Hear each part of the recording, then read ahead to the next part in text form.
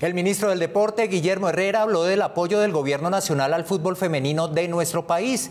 Esto a raíz de la realización de la Copa América en el año 2022, que se celebrará en cinco ciudades colombianas. Puede ser una liga de mayor alcance, eh, más estable y que seguramente nos permita generar una mayor proyección deportiva de nuestras futbolistas en Colombia. Y para eso el Ministerio apropiado en el presupuesto del próximo año recursos hasta por 3 mil millones de pesos.